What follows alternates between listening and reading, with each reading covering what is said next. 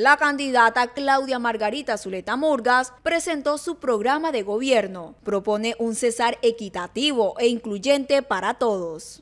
Cuatro ejes principales de este programa de gobierno. Primero, un modelo de gobierno que recupere la confianza. Creo que una de las cosas que hoy más agobian a la población cesarense y tal vez a la población colombiana es que hemos perdido la confianza en las instituciones públicas. Porque el gobierno ha cerrado sus puertas, porque tal vez por intereses que no son los intereses colectivos, por intereses mezquinos tal vez, se ha excluido la participación de la sociedad civil de la toma de las decisiones públicas y de la construcción de las políticas públicas. Nosotros queremos defender un modelo de gobierno abierto, decente, un gobierno que represente la voz y el sentir de todos los cesarenses.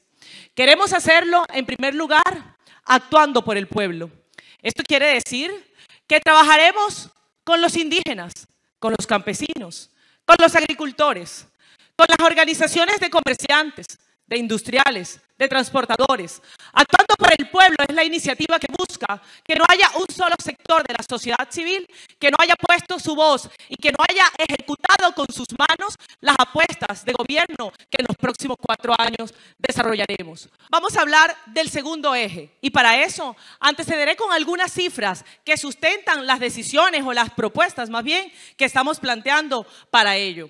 Lo primero es decir que el departamento del Cesar en los últimos años, en la última década, no ha logrado posicionarse en materia de competitividad en el territorio nacional en el índice departamental de competitividad para la medición de 2023 que hace eh, la Comisión Nacional de Competitividad con la Universidad del Rosario, el departamento del Cesar quedó ubicado en la posición número 21 entre 33 entidades territoriales. Eso quiere decir los 32 departamentos más la ciudad de Bogotá, la ciudad capital, con 4.3 eh, puntos de calificación sobre 10 posibles. El Cesar tiene hoy una ubicación en materia de competitividad en el puesto 21. El Cesar además, y también por causa de esas falencias, hoy es uno de los departamentos con las más altas tasas de desempleo en Colombia, ustedes lo saben.